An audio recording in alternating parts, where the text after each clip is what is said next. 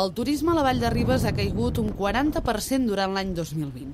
Unes dades que mostren els estralls d'una temporada marcada per l'emergència sanitària i consegüents restriccions. Un any atípic en què la Vall de Ribes gairebé va rebre 44.000 persones. Tot i que la Covid va alterar el flux normal de visitants, a l'estiu es va viure un repunt. Malgrat això, les restriccions des del mes de març no han permès ni arribar ni superar les 77.000 persones que van demanar informació a l'Oficina de Turisme de la Vall de Ribes el 2019. Hi va haver un cert moviment de turisme nacional, de turisme al país, però hem de tenir en compte doncs, que tot el turisme estranger que ens venia doncs, eh, no ens ha vingut. El mes amb major afluència de persones va ser l'agost, amb 17.770.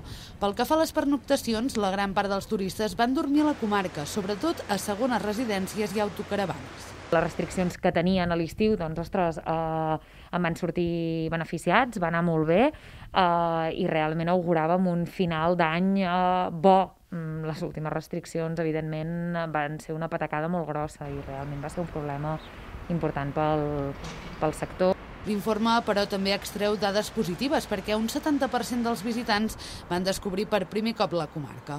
De cara a aquest 2021, el sector veu amb preocupació el futur. La situació ara és molt desesperant i és desesperant perquè el mes de març del 2020 quan ens van tancar era una situació molt nova per tothom. La desesperació és que tornem al vincle, no? tornem, tornem a aquest peix que es mossega la cua, però que no sabem quan acabarà.